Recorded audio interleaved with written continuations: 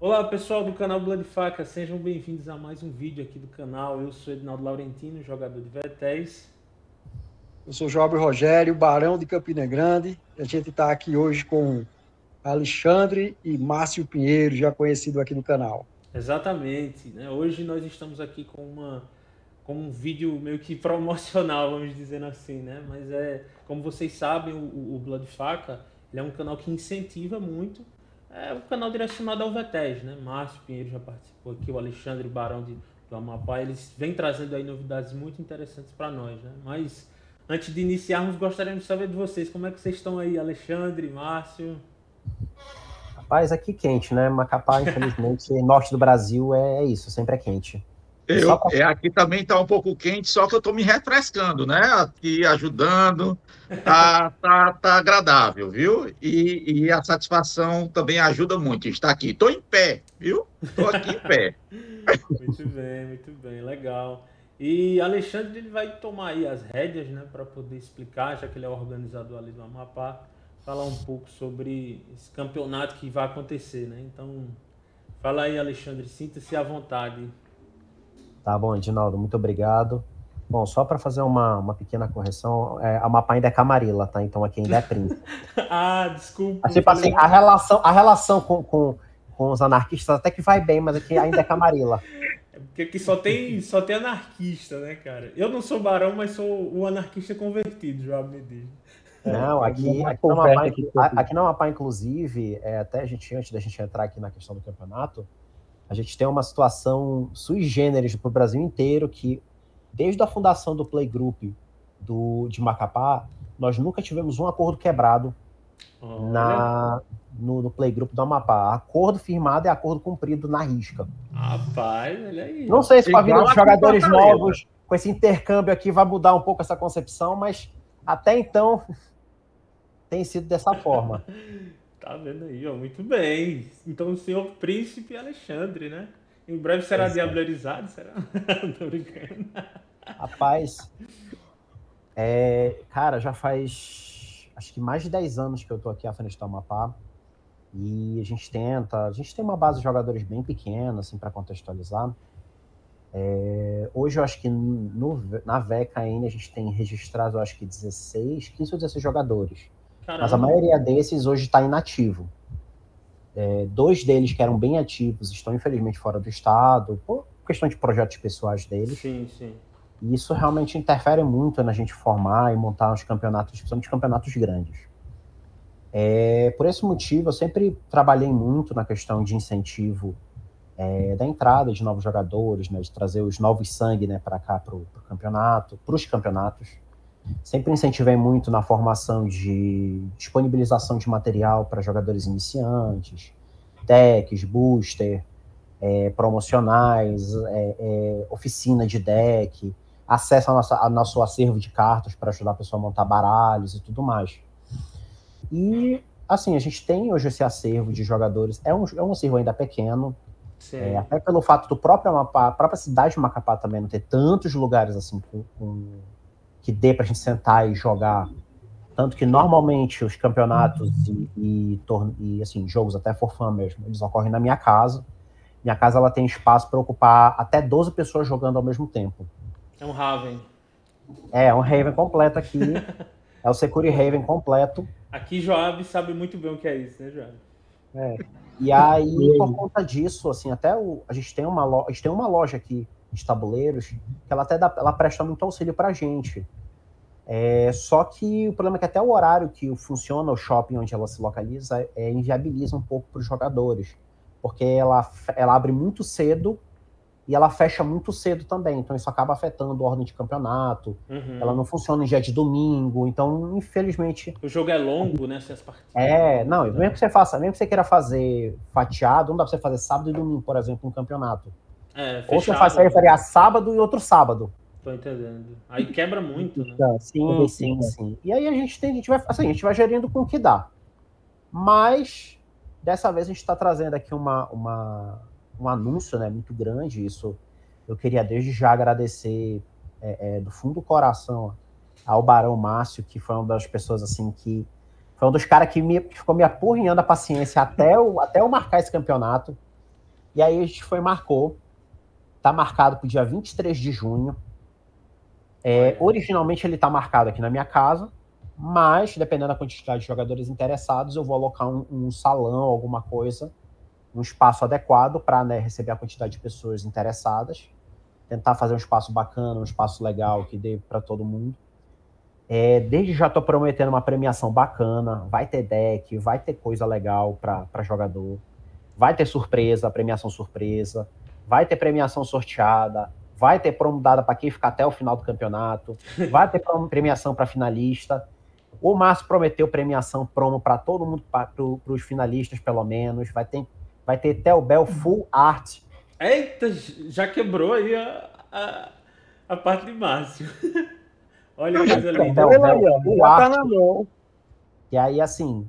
E, esse cara, aí, esse isso... aí tem mais dois de força, né? Esse aí não é só mais um. Agora, esse aqui é só pro, pro campeão, tá, pessoal? Porque só tem uma mesmo, porque a anarquia conseguiu desviar um Stelbel Fuarte da Camarilla, lá de São Paulo. Ah. Aí, a, aí o que a gente conseguiu desviar, a gente tá ajudando aí os outros principados, porque só a anarquia que ajuda os outros. O príncipe de São Paulo vai ficar com todos para ele, viu? e aí, assim, a gente está nessa correria toda, né? E, e, cara, e tudo isso pela premiação de pelo valor de 15 reais a inscrição. Caramba. Tipo assim. E, ó, mais uma, todo inscrito vai ganhar essa fuarte aqui, ó.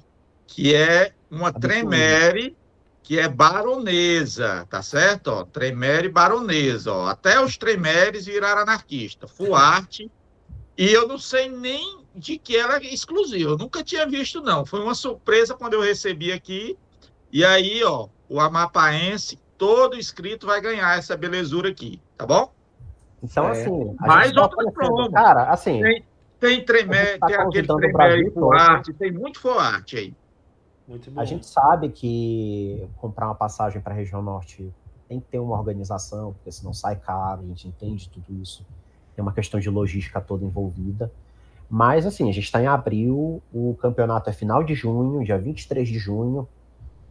Dá tempo, dá para se organizar, vai, dá para ir para puxar aquelas milhas que estão sobrando, que está para expirar. Hum. E aí, assim, a gente está convidando o Brasil todo para participar. Vai ser uma, o maior prazer da gente receber e fazer esse intercâmbio do Brasil inteiro. Eu acho que daqui do Amapá, só eu e o Israel tivemos a oportunidade de jogar fora do, do Amapá, o VTES. Então, para os outros jogadores vai ser uma experiência muito bacana. Teve alguns que jogaram via LAC, mas você jogar ali naquele no presencial, no tete a tete, cara a cara, é outra experiência, é outra coisa. E vocês vão ter a oportunidade de ver como realmente a gente mantém, a gente mantém em termo de acordo. Aqui, aqui a trilha, aqui a trilha do, do acordo honrado. É, e a gente. Aqui, a gente realmente... aqui Fortaleza é igual aí. Ah. Uhum.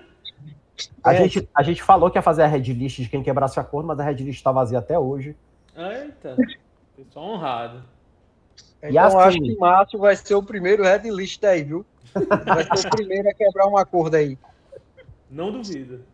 Mas assim, o Barão já confirmou presença. É, quem quiser vir da região norte, sudeste, nordeste, sul, tá todo mundo convidado. A gente realmente vai abraçar todo mundo aqui com o maior carinho.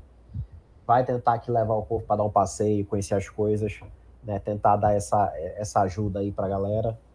É, vamos realmente tentar oferecer um negócio profissional para o pessoal, tentar oferecer é, entretenimento de qualidade, é, a um preço módico, porque vocês sabem que pagar 15 reais numa inscrição para ganhar esse tanto de premiação é é, aqui eu tô sendo pai, mãe e avó aqui ao mesmo tempo. Realmente, realmente. Márcio, desde tá quase já pagando para a gente ir, viu, pessoal? É, ele, assim, ele ainda, tá não dá, ainda, não dá pra, ainda não dá para pagar a passagem do povo, ir mas... lá Amapá, quem está escutando aí. Mas, assim, é, desde já também agradecer todo o apoio que o, o Márcio tem dado para a gente. Assim, é um apoio incondicional. Tem sido um apoio não só para esse campeonato, mas tem sido um apoio muito grande para o Playgroup. Eu já comentei outras vezes, numa outra, no outro vídeo que teve do Faca, às vezes, da dificuldade que a gente tem de acessar o material pela via específica da Conclave, muitas vezes por questão de frete, do Sudeste para cá sim. e tudo mais. Eu até mostrei uma vez que eu fiz a simulação de um deck de 80 reais daqueles do Sabá, tava dando o frete para cada 90. Caramba. Um deck. Muito inviável. Então, né? assim, é, não, não, não tinha como. E você comprando mais decks ia ficando mais caro o frete. Aqui eu consigo mandar, eu acho que pelos 30 reais um deck. No máximo, não sei se chega a 30, sim, não. sim, sim, não. Aí, e assim, tá o, o, o Márcio, ele tá ajudando basicamente. O Márcio tá sendo a- a- a- o coração aqui que tá bombeando o sangue pra dentro da casa do, do, do playgroup do Amapá. E claro, cara, é, você pode ter certeza assim, que você é a pessoa, uma figura histórica no VTES do Brasil, mas você saiba que no Amapá você é uma figura lendária. Você é essencial para a formação e continuidade aqui desse grupo, cara. Eu quero, eu quero ver se os amapaenses que estão fora, se eles vão retornar para jogar o amapaense. Um eu quero tá jogar com o pensando- um deles, amapaense aí. um deles, que é o Israel, ele já falou que ele tá desesperado, tá, tá quase pedindo dinheiro pra Giota pra conseguir comprar passagem pra vir. E ele tá. O outro que tá em São Paulo, esse aí, infelizmente, já é é uma cria nossa perdida. Ah, Mas o, mas o Israel, ele tá fazendo. Tá, tá fazendo das tripas coração pra estar aqui pra jogar com a gente.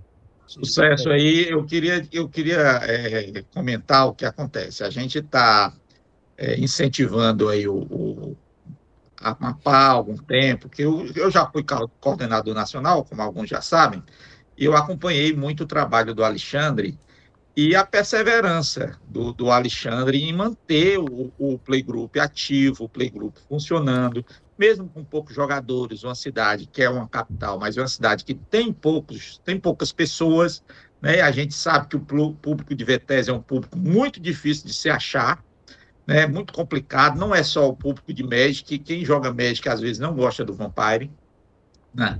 Por quê? Porque gosta de jogar aquelas partidas rápidas, não é multiplayer, e o pessoal de RPG não gosta de card game, então é um jogo muito difícil você conseguir jogadores, né? E o, o Alexandre conseguiu durante esse tempo aí, 10 anos, né?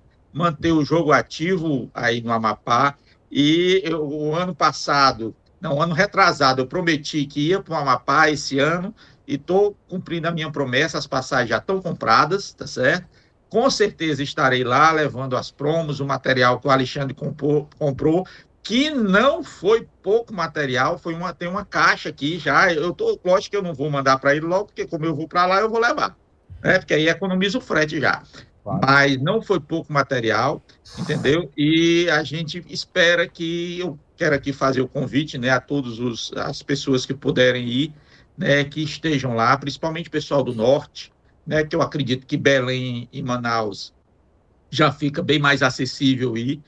E é um campeonato que a gente espera que dê pelo menos 25 pessoas, essa é a minha expectativa. Tá? Estou levando material promo para 25 pessoas. Se, se o Alexandre dizer, Márcio, está garantido 30, eu faço mais os 30, não tem problema.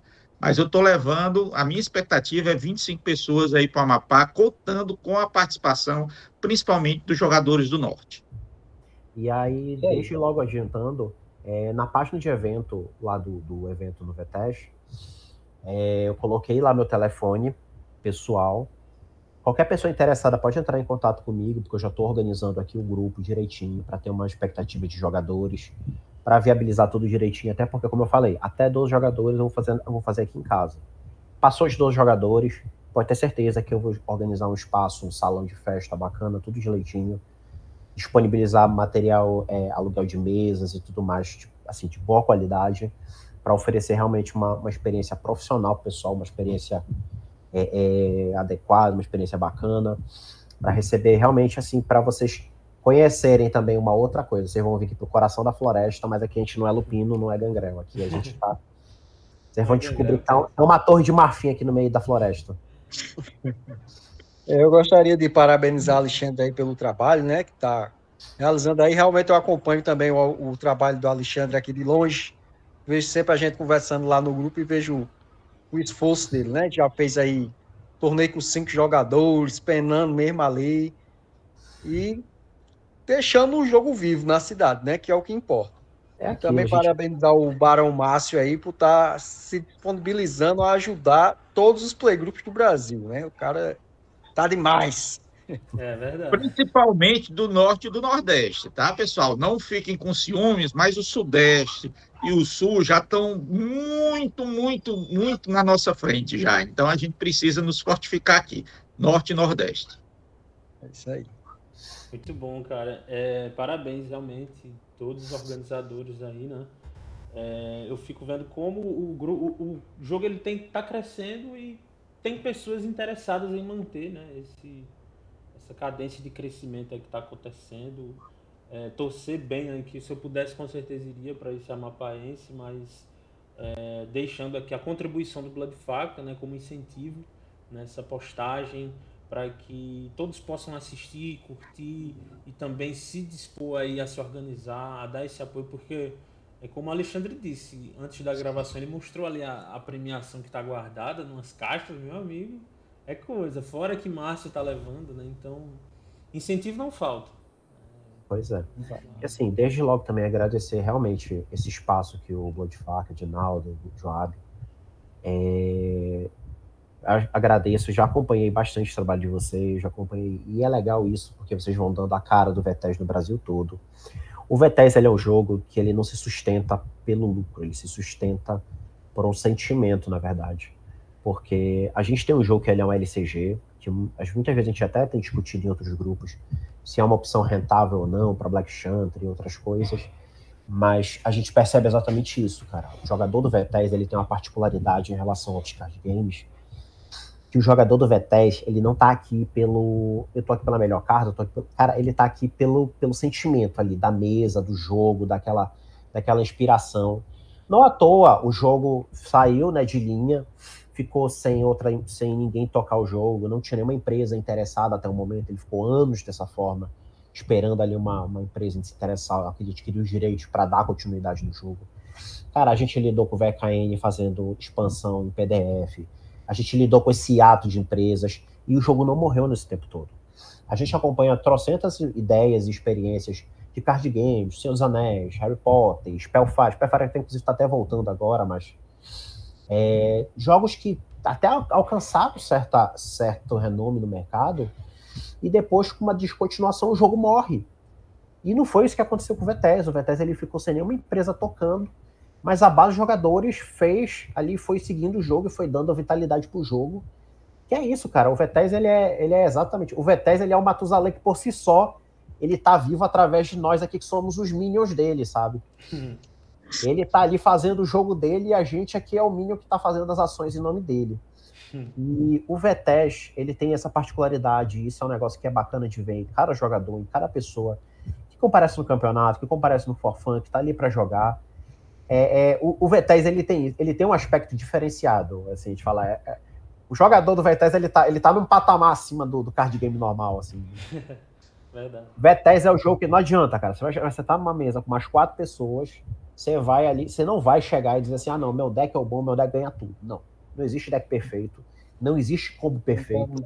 Você vai sentar na mesa, você vai ter que conversar com os outros jogadores, você vai ter que tentar se acertar com os outros jogadores, vai ter gente do outro lado da mesa vindo atrás de você para fazer para encher seu saco. E é isso, cara. E é, e é um negócio que nenhum outro card game tem, nenhum outro card game médico, com mesão, que quer que seja, ele não traz isso. Ele não tem essa, essa, essa, esse alinhamento. O Vetés, ele mais do que um jogo de carta, ele é um jogo social. É. Ele, ele desenvolve exatamente essa socialidade que a gente tem.